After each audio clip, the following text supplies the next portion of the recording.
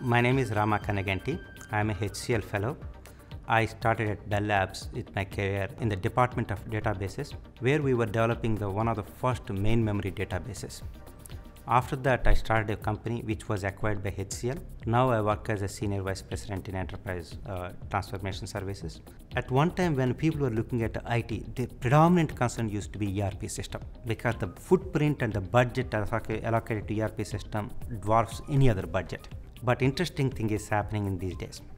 With the consumerization of IT, there is a lot more focus in bringing the technologies that the consumers are familiar with, which means mobility, which means social, which means a lot of custom application development, which ERP does not provide.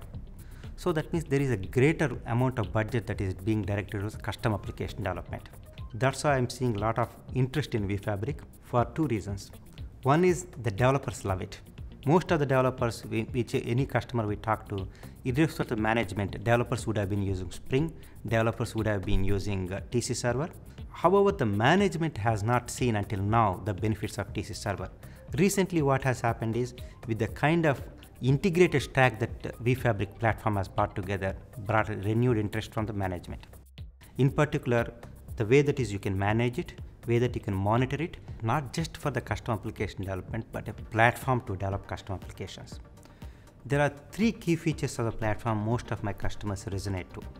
One is enterprise ready. By enterprise ready, they mean typically internationalization, non-functional requirement support, and support for extensibility, flexibility, those are the kind of needs. Second is integration ready. That means no custom application is an island unto itself it needs to get the data in and out of ERP systems. It needs to support other applications. It needs to work with uh, multi-channel delivery purposes, etc.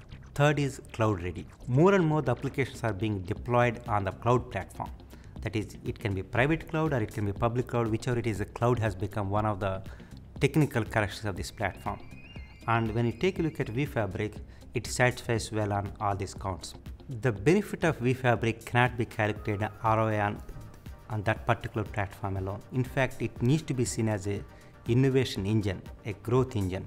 I don't think this move towards simplicity will stop. So I see uh, simplicity as a way of life going forward in the way that is we use the custom platforms for custom application development.